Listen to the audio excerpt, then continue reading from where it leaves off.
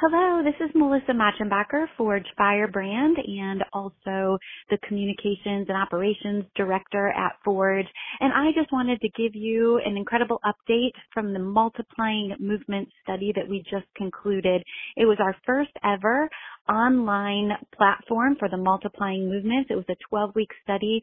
We had women from over eight states and two different countries that had participated in this study and we just concluded on Monday night. It was a powerful session where women of all ages were coming together to grow in God and grow in this kingdom laborership movement and get trained and equipped to go forth and to multiply the King's movement. And so I just wanted to say thank you so much for praying and for believing God with us. We had um, an incredible turnout and we were able to end this study with a call to action and to put our kingdom laborership training and equipping to great use locally um, everywhere that our feet would take us and, and within our sphere of influence and then also globally.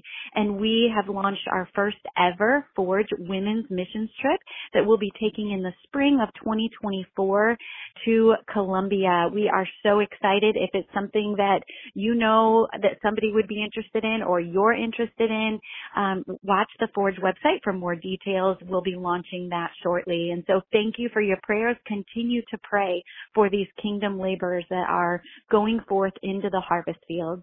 We love you and we thank you and we are just so honored to come alongside of you as you help move this mission forward. Have a blessed day.